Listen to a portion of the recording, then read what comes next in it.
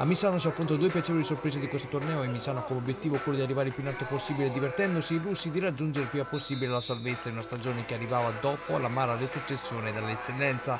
La partita non è tra le più belle viste stagione, l'inizio però di marca locale, il colpo di testa di Urbinati termina abbondantemente al lato. Dall'angolo i padroni di casa insistono e vanno vicino all'avversario grazie alla complicità del portiere Casadio, Lombardi allontana il pericolo.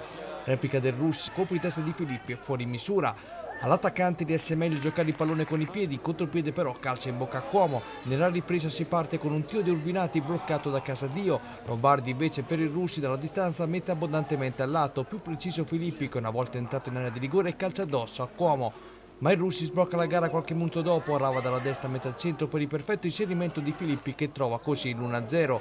Neppure il tempo di esultare che Magnani in fase di retropassaggio di testa accompagna la palla sui piedi di Stella che approfitta nel migliore dei modi per l'1-1 finale. Il risultato non cambierà più anche se le squadre creano un'occasione per parte. Tassinari da calcio piazzato impegna così Cuomo mentre Urbinati sfruttando un corner di testa centra la traversa. 1-1 il finale.